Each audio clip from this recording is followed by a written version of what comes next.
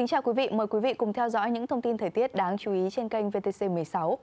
Theo Trung tâm Dự báo Khí tượng Thủy văn Quốc gia, đới gió Đông Nam ẩm của khối không khí lạnh lệch đông đang khiến cho các tỉnh miền Bắc trời nhiều mây và hiện tượng sương mù xuất hiện tại nhiều nơi. Ở khu vực phía Đông Bắc Bộ thì nơi chịu nhiều ảnh hưởng của không khí lạnh suy yếu nên còn có cả sương mù cùng với đó là độ ẩm trong không khí ở mức trên 85%. Nên dù nhiệt độ không quá thấp, chỉ ở ngưỡng từ 12 tới 13 độ ở vùng núi và khoảng 14 đến 15 độ ở vùng đồng bằng nhưng chúng ta vẫn cảm thấy khá rét. Còn miền Trung thì thời tiết đang có những chuyển biến tích cực hơn.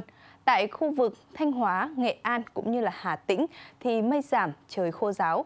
Còn khu vực từ Quảng Bình đến Quảng Ngãi thì vẫn duy trì hiện tượng mưa rào. Nền nhiệt ở khu vực Trung Bộ tăng dần từ Bắc đến Nam và dao động trong khoảng từ 20 cho tới 30 độ. Còn tại Nam Bộ, thời tiết phổ biến là trời nắng, có mưa ở một vài nơi nhưng lượng mưa không nhiều. Ban ngày nhiệt độ ở các tỉnh Nam Bộ phổ biến ở ngưỡng từ 30 cho tới 33 độ.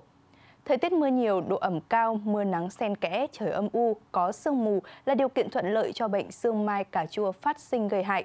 Bà con cần phải chủ động các biện pháp phòng trị bệnh sương mai cà chua bằng các biện pháp cụ thể như sau.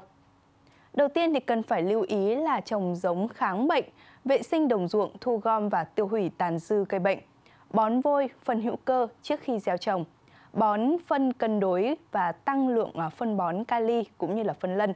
Đối với vườn ươm thì phải là nơi đất cao giáo sạch sẽ, không nên trồng cà chua gần ruộng khoai tây và không luân canh kế cận với cây khoai tây.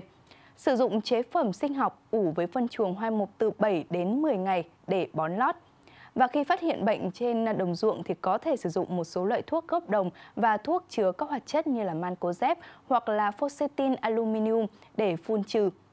Và cuối cùng sẽ là những thông tin dự báo thời tiết đáng chú ý trong hôm nay và ngày mai. Mời quý vị cùng theo dõi.